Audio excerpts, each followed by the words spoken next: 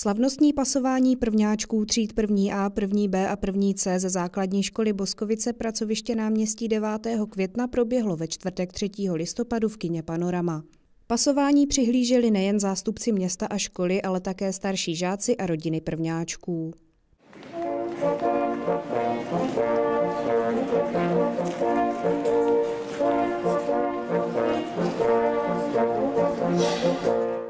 Sedmý ročník svatohubertských slavností pořádala rodina Mensdorf Puji 5. listopadu v prostorách Boskovického zámku.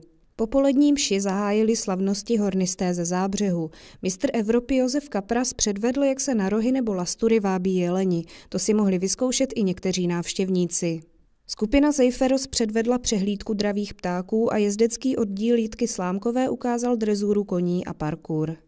Program doplňovala boskovická kapela pod vedením Zdeňka Jindry. Návštěvníci si mohli užít i prohlídky zámku a výstavu zbraní a loveckých trofejí.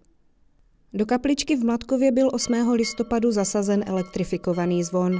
Na místo zvoníka už teď tedy zvon ovládá spínač. Zvonění se Mladkovem ozývá vždy ve 12 a 18 hodin. 24-letý poutník Ladislav Zibura přijel 16. listopadu do Boskovic představit svou novou knihu. Ta se jmenuje Pěšky mezi buddhisty a komunisty a Zibura v ní píše o své výpravě do Nepálu a Číny. Mladý poutník se svou cestovatelskou stand-up show a projekcí jezdí po republice a dává tak ostatním nahlédnout do životů lidí, které na svých cestách potkal.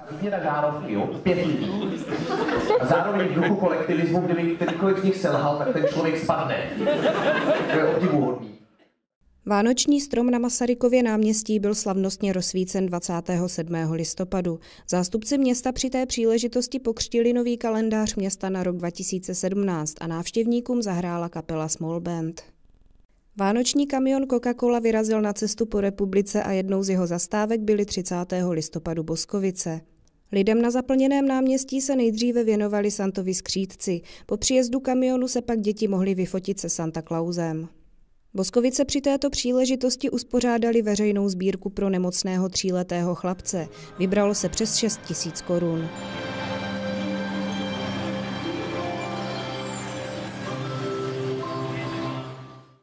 V partnerském městě Levice se 3.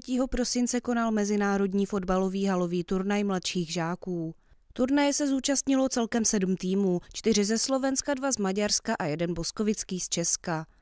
Žáci FC Boskovice zvítězili ve všech šesti zápasech a stali se tím pádem vítězi celého turnaje. Každým rokem je v Boskovicích jedním ze symbolů blížících se Vánoc i Vánoční jarmark. Jeho jedenáctý ročník připravila kulturní zařízení města Boskovice na 9. a 10. prosince. V pátek dopoledne předala starostka Hana Nedomová zprávu nad městem Pánovi z Boskovic. Návštěvníci si pak po oba dny mohli užít jak kulturní program, tak i nespočet stánků. V nemocnici bylo 14. prosince otevřeno áro v nových prostorách ve čtvrtém patře. Vybudování anesteziologicko-resuscitačního oddělení stálo přes 30 milionů korun. Oddělení by mělo do plného provozu přejít od nového roku.